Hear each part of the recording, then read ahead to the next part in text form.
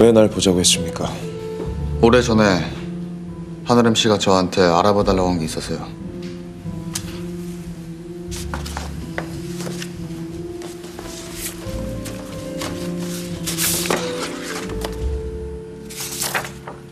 이건 하늘음 씨 아버지인 대구섬이 한민성 사장님이 개발한 도면입니다. 요즘 기술로 견제봐도 뒤지지 않을 도면이죠. 이게 아름 씨 아버지 도면이라고요? 이건 드림 네, 맞습니다. 외부 디자인이 좀 다를지 몰라도 드림에서 특허낸 도면과 똑같죠. 드림을 지금의 대기업으로 키운 그 기계 말입니다. 하고 싶은 얘기가 뭡니까?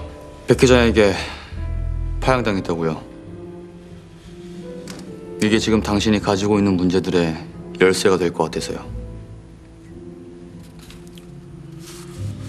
아름 씨 때문입니까? 날 도와주는 게 누구 때문이든 이제 상관없지 않습니까?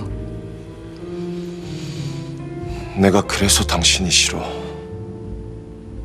아무도 알아주지도 않는 기다리 아저씨를 자처할 정도로 그렇게 아름 씨를 사랑하는 당신 앞에선 내가 더 초라해지거든. 백강우 씨, 이제 난 더 이상 아무것도 가진 것도 없고 드림의 황태자도 아닙니다. 그래서 더 비참하군요.